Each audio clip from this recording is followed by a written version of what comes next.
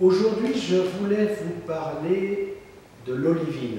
Je devrais dire des olivines, puisque là encore, il s'agit d'une famille de minéraux. Ce sont des silicates de fer et de magnésium. Et dans cette famille, on trouve le pôle magnésien et le pôle ferrique, phosphérite et fayalite. Olivine, on entend olive, et c'est la couleur verte, effectivement, qui domine euh, dans cette famille.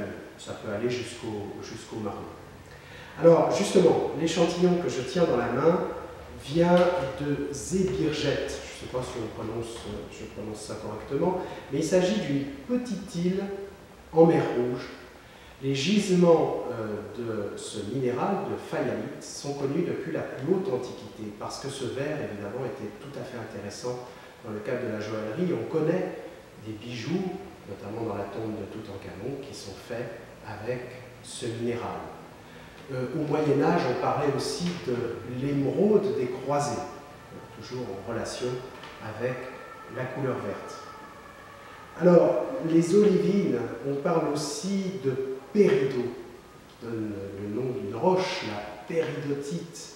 Là, on parle de phénomènes volcaniques, magmatiques. Mais évidemment, c'est une autre histoire.